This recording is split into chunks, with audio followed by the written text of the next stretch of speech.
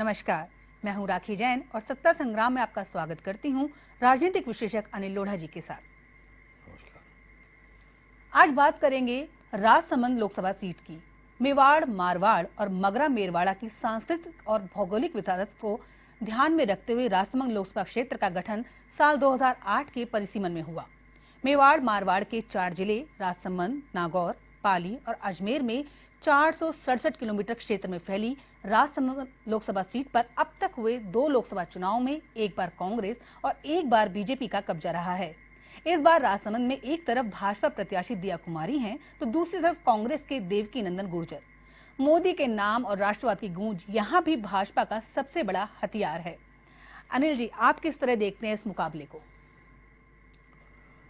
ये बड़ा अजीब तो कॉन्स्टिट्युएंसी और अजीब मुकाबला है। कॉन्स्टिट्युएंसी तो यूँ अजीब है कि चार कलेक्टर लगते हैं, चार ज़िले।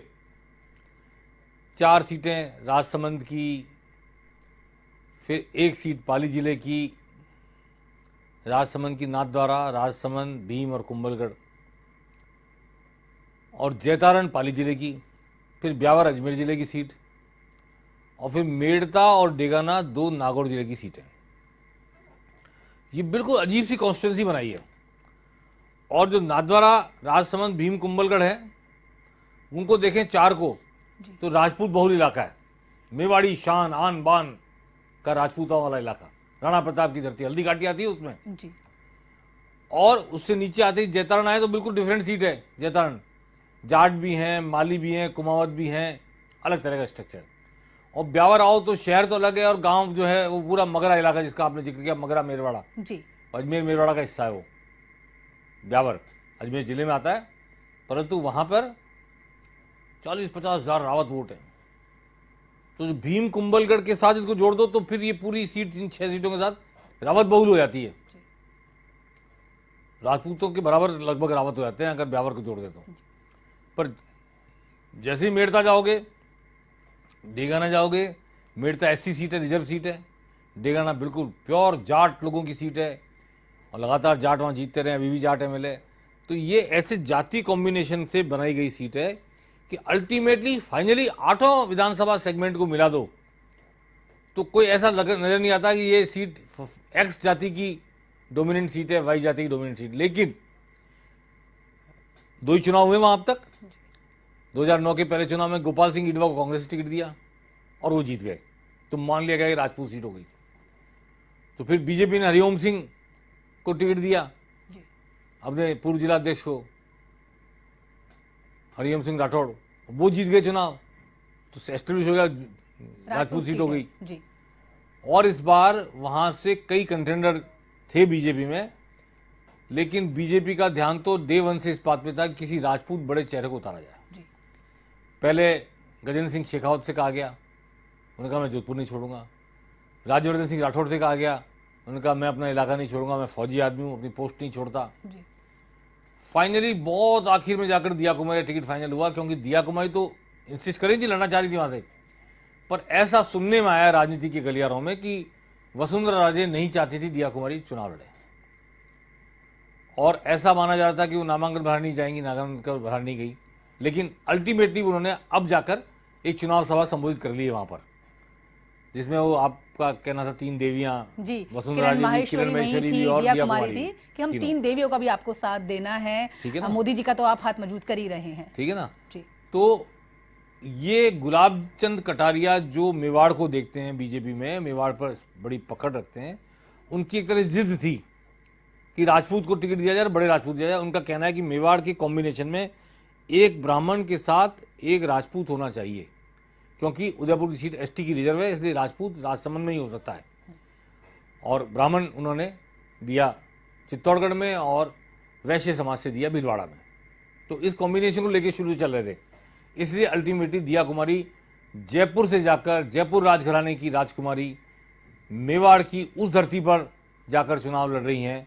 राजसमंद में जिस धरती पर हल्दी घाटी अवस्थित है हल्दी घाटी का युद्ध जिसे राणा प्रताप के साथ जोड़कर चेतक के साथ जोड़कर भामाशाह के साथ जोड़कर इतिहास में याद किया जाता है जिस पर पूरा मेवाड़ गर्व से अपना सीना बाहर करता है।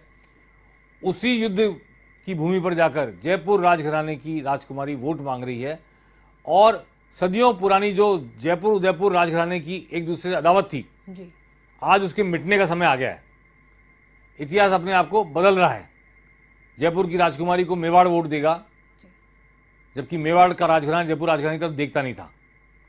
तो इतिहास करवट ले रहा है समय करवट ले रहा है और आज की आधुनिक जनता उस 200 साल 300 साल पुरानी जो भी जो भी एक ऐतिहासिक भूल ऐतिहासिक युद्ध ऐतिहासिक बातें हैं उससे इतर जाकर लोकतंत्र के युग में आ गया है और लोकतांत्रिक तरीके से प्रत्याशी की योग्यता प्रत्याशी की मेहनत प्रत्याशी की पार्टी प्रत्याशी की पार्टी के नेता इन सब पर ध्यान देकर वोट करने जा रहा है। हमारे लोकतंत्र की ये मैं इसको बहुत बड़ी जीत मानता हूँ। अनिल जी दिया कुमारी के लिए बार बार यहाँ ये भी वहाँ कहा जा रहा था कि वो बाहरी हैं वो जयपुर से पहले टिकट मांग रही थी उसके बाद टोंक सवाई माधोपुर से वो टिकट मांग रही थी। लास्ट में जाके उनको राजसमंद का टिकट मिला। राजसमंद से वो सवाई माधोपुर से एमएलए रही पिछली बार। जी। देखिए अब मोदी गुजरात से जाकर वाराणसी चुनाव लड़ लिए, जीत गए तो क्या बाहरी हो गए? राहुल गांधी वायनाड से चुनाव लड़ रहे हैं, क्या बाहरी हो गए? पूरा देश एक है, लोकसभा एक है, कहीं भी चुनाव होता है, कोई भी कहीं जाकर लड़ लेता है, लड़ सकता है, जीत जाते हैं। हम तो ढेरों उदाहरण बने पड़े हैं कि वो तो राजस्थान के राजस्थान में जाके लड़ रही चुनाव। एक स्टेट का आदमी दूसरी स्टेट में जाके हज़ारों मील जाके चुनाव लड़ लेता है और जीत के भी आ जाता है। कई बार तो जिस जगह को उसने कभी जीवन में देख सपने में भी देखा उस जगह से जीत के आ जाता है। तो अब ये सब बातें खराब फिजूल हो गई हैं। अनिल जी कहीं ऐसा नहीं है कि दिया कुमारी के ग्लैमर में एक हाई प्रोफ़ाइल नाम हो जाता है। देवकी नंदन गुर्जर जिन्हें काका के नाम से भी पुकारा जाता है कि वो कहाँ है इस समय? देवकी नंदन गुर्जर नाथद्वारा सीट से आते हैं। एक बार चुनाव हारे भी हैं वहाँ पे। वो सीपी जोशी के खास सिपे से ला रहे हैं। डॉक्टर सीपी जोशी विधानसभा अध्यक्ष हैं। Nathdwara constituency doctor CP Joshi की भगत है। हालाँकि एक बार एक वोट से सीपी जोशी वहाँ से हार गए थे। लेकिन अदरवाइज़ वो राजसमंद सीपी जोशी का इलाका है। नाथद्वारा सीपी जोशी का इलाका है। लेकिन जैसे भीम कुंभलगढ़ में आते हैं वो सीपी जोशी की पकड़ से बाहर होता है इलाका। वहाँ लक्ष्मण सिंह जो रावत हैं कांग्रेस के पूर्व मंत्री सरकार के जिनका बेटा भी एमएलए बना है। वो वो वहाँ पर प्रभावी होते हैं परंतु वहाँ पर राजपूत समाज में बीजेपी के लीडर्स हैं वो प्रभावशाली हैं। तो रावत वोट अगर वो लक्ष्मण सिंह रावत या उनके बेटे की वजह से कांग्रेस को मिल भी जाए तो राजपूत वोट तो बीजेपी के साथ जाने वाले हैं वहाँ के। और ये खुशी की बात है मैं बीजेपी को मिल रहे इसलिए खुशी नहीं व्यक्त कर रहा खुशी इसलिए कर रहा हूँ कि इतिहास ने जो दूरियाँ बना रखी थी जयपुर और उदयपुर मेवाड़ और ढूंढाड़ इसके बीच में ये दूरी इस चुनाव से मिटने जा रही है। और सदियों की दूरी लम्हों ने खता की थी, सदियों ने सजा पाई है। एक शेर हमने कभी सुना था। तो सदियों की सजा दोनों इलाके की, राज परिवारों के बीच की दूरियाँ मिटने वाली है, ऐसा लग रहा है मुझे। तो ये, इसको मैं डेमोक्रेसी की जीत मानता हूँ। जीते हारे कोई भी दिया कुमारी जीते, देवकी काका जीते, इसमें मैं नहीं जाना चाहता। पर दिया कुमारी का चुनाव लड़ना और मेवाड़ के राजपूतों का, उनके साथ खड़े होना, यही अपने आप में बड़ी उपलब्धि है, लोकतंत्र की जीत है, ऐसा मेरा मानना है। जी। अनिल जी, डे फ़र्स्ट से हम देख रहे हैं जब उनको टिकट अनाउंस हुआ, उसके बाद से जो खबरें आती हैं, जो हम देखते हैं, वो गली गली घूम रही हैं, लोगों के बीच जा रही हैं और सबसे ज़्यादा ये कहती हैं कि मैं एक सैनिक की बेटी हूँ, मेरे पिता ने युद्ध भूमि में कौशल दिखाया था, मैं उस बाप की बेटी हूँ तो राष्ट्रवाद की बात जो भाजपा इस समय कर रही है, मोदी के नाम की बात कर रही है, वहीं वो ही बात बार बार कहती है। और उनके पिता ने कौशल दिखाया था तो पिता को तो कांग्रेस ने टिकट दिया था, और कांग्रेस के चुनाव चिन्ह पे लड़े थे वो जयपुर से। और जनता ने हरा दिया था। तो इसलिए ये कोई उदाहरण नहीं देने के लिए, मैं नहीं मानता इसको। इसलिए नहीं मानता कि फिर जयपुर की जनता ने तो उनको खुद को ही हरा दिया था, पिता को ही उनके। मोहन सिंह जी को तो मिलिट्री में रह के आए। भारत के राजदूत भी रहे, उच्चायुक्त भी रहे। और फौजी की बेटी है, मान लिया, लेकिन वो जो, वो थे फौजी, जो भी इनके पिता, वो कांग्रेस के टिकट लड़ रहे थे। आज वो कांग्रेस के खिलाफ लड़ रही हैं। इसलिए उदाहरण तो उन्हें देना नहीं चाहिए। उदाहरण यही है कि वो एमएलए रही हैं, वो राजनीति में आ रही हैं, वो एक सॉफ्ट चेहरा हैं। सोबर चेहरा हैं वो बीजेपी की, उस पार्टी की टिकट पे लड़ रही हैं जिसके नेता मोदी हैं, और ये सब लोग मोदी मोदी ही करके चुनाव लड़ रहे हैं। चाहे वो गली गली तो इसलिए जा रही हैं कि लोग ये ना कहें कि जयपुर से आई है, महारानी है, राजकुमारी है, कौन है, क्या है, कहाँ है, कैसी है, ये सब ना ना कहें इन बिंदुओं को तर्कों काटने के लिए। जाना भी चाहिए। आप भारी हो तो वोट मांगने के लिए आपको गली गली धूल फांकनी चाहिए और उस इलाके को समझना चाहिए ताकि उसका विकास कर सको अगर आपको मौका दे जनता तो। जी। हम बात करें थोड़ा सा मुद्दों की तरफ़ भी आ जाएँ तो राजसमंद में किस तरह के मुद्दे हैं जिनको जनता देख सकती है जिन पर बात कर सकती है? अलग अलग मुद्दे हैं। जो मुद्दा जैतारण में वो कुंभलगढ़ में नहीं है। जो मुद्दा नादवारा में है वो भीम में नहीं है। जो मुद्दा ब्यावर में है वो मेड़ता में नहीं। जो मेड़ता में वो डेगाना में नहीं है सारे बिखरा हुआ क्षेत्र ही तो। चार सौ सड़सठ किलोमीटर आपने कहा ना जी। तो वो तो हर विधानसभा क्षेत्र का मूड ही अलग है जनता ही अलग है एनाटोमी अलग है उसकी सोशोलॉजिकल जो उसकी बनावट है वही अलग है। तो इसलिए डेगाना का बिल्कुल विशुद्ध खाटी जाट बिहेवियर मकरान मेड़ता आज हनुमान बेनीवाल की पार्टी के पास है सीट लेकिन क्या हनुमान बेनीवाल अपनी पार्टी की विधायक के को मिले वोट ट्रांसफ़र कराने की स्थिति में है दिया कुमारी को? ये भी यक्ष प्रश्न सामने है। कि जो वोट हनुमान बेनीवाल के नेतृत्व वाली पार्टी को दिए थे वहाँ के जाटों ने खास तौर पर। मैं नाम ले रहा हूँ जाति का लेकिन क्षमा करें। लेकिन वो हनुमान बेनीवाल के नेतृत्व वाले को स्वीकार करने वाले लोग क्या दिया कुमारी के नेतृत्व को भी स्वीकार करेंगे? हनुमान बेनीवाल कहने से ही सही। ये भी प्रश्न प्रश्नचित है। हनुमान बेनीवाल खुद आए थे उन्होंने भी एक सभा की है रा, राजसमंद में आकर। अरे भाई उनको भी अपने नागौर में राज, राजपूतों के वोट लेने हैं जो बीजेपी ओरिएंटेड वोट हैं वो लेने हैं। तो बीजेपी ओरिएंटेड वोट लेने के लिए उनको आना ही था। समझौता करके लड़ रहे हैं चुनाव बीजेपी के साथ। लेकिन इसका मतलब ये नहीं, देखिए वोट ट्रांसफ़र करने की पावर बहुत कम लोगों में होती है।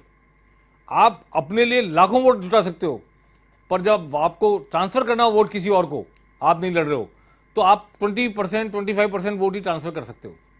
तो इसलिए ऐसी बड़ी फॉलोइंग कि आप इधर के इधर पूरे चले जाओ और पूरे वोट शिफ्ट हो जाएँ, मैं मानने को तैयार नहीं हूँ। और लोग स्वविवेक से भी वोट देते हैं जाति समीकरण भी देखते हैं प्रत्याशी भी देखते हैं। प्रत्याशी ने कितना अप्रोच किया ये भी देखते हैं। गली मोहल्ले के लोग वार्ड पंच कहाँ किसको वोट दिला रहा है प्रधान किसको दिला रहा है सरपंच किसको दिला रहा है ये सारे फैक्टर्स काम आते हैं। तो टोटलिटी में ये आठों विधानसभा क्षेत्र अलग अलग हैं। डेगाना बिल्कुल रिछपाल मिर्ज़ा के इलाका है तो वहाँ दिया कुमारी को क्या मिल जाएगा ये भी देखने वाली बात होगी। और अजय किलक जो मंत्री थे पहले पिछली सरकार में राम रघुनाथ चौधरी पूर्व सांसद के बेटे वो बीजेपी से थे रघु ये अजय किलक लेकिन उनके पिता कांग्रेस सांसद रहे नागौर में तो वो क्या वोट शिफ्टिंग कर सकते हैं नहीं कर सकते हैं अजय किलक ये सब देखने वाली बातें हैं। हालाँकि इसका जब परिणाम आएगा तो मैं ये आज अंदाजे से बता सकता हूँ कि आठों कॉन्स्टिट्युएंसी में एक ही प्रत्याशी जीते ये मुझे मुश्किल लगता है। जी। डेगाना का जो परिणाम होगा ज़रूरी नहीं कि राजसमंद का परिणाम या नाथद्वारा परिणाम भी वही निकले। ब्यावर का भी वही निकले। तो ये आठों विधानसभा सेगमेंट अपने अपने मिजाज के अनुसार वोट करेंगे और एक ही पार्टी आठों जगह जीत जाए इसमें मुझे संदेह लगता है। जी। जी।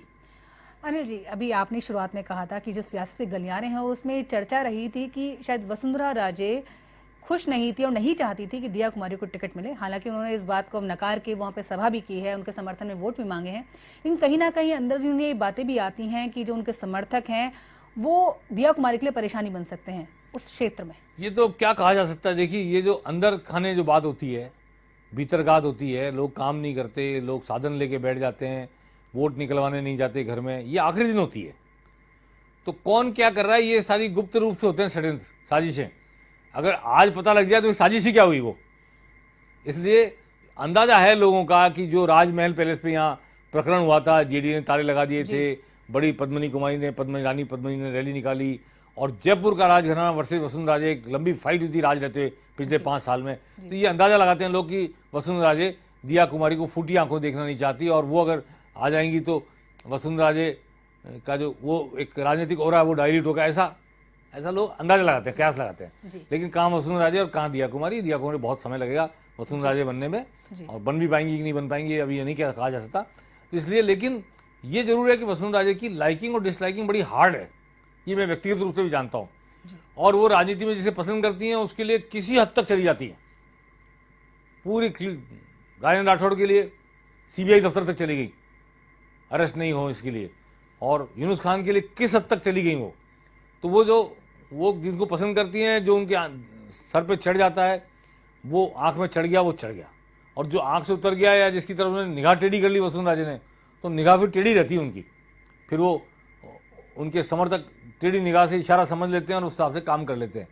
तो अब वो समर्थक टेढ़ी निगाह को टेढ़ी देख पा रहे हैं नहीं देख पा रहे हैं समझ पा रहे नहीं समझ पा रहे हैं इशारे को ये भविष्य के घर में छुपा है।